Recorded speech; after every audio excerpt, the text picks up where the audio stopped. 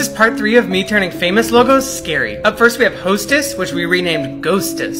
My idea was this for to make the ring around Hostess be kind of like a Danny Phantom ghost portal. So I started by taking out the word Hostess, I made the ring green, and I made the little heart white because I wanted to make him a ghost later. I made the ring look like it was glowing and added in that portal in the middle there. Lastly, I typed out Ghostess in the font Mushamp, and I made the coloring and the drop shadows and everything look like the original, and here's the final result. I love just the whole concept behind this one, and I think it looks really good. Up next, we have White Claw, aka Fright Claw. For this one, I wanted to give it a hand-drawn effect to look similar to the wave they had in it already, but my idea was to make it look kind of like a witch's hand with like long nail claws. So I drew the hand on Procreate, and lastly, I changed the birds to be little bats. Then in Illustrator, I tried to mimic the circular part of the font, but changed it to a drippy horror font. And here's the final result. I love the name Fright Claw and Blood Seltzer, and honestly, I couldn't be happier with this one. Last we have Wells Fargo, which I renamed Hell's Fargo. I knew I wanted to make the horse look kind of like a skeleton horse, so I did that in Procreate. At first I thought I wanted to make the little guy uh, devil, but eventually my idea morphed into making this the Headless Horseman. Once I was finally done with that, I brought it into Photoshop. I changed the yellow bar to be a black bar just to make it look a little more scary.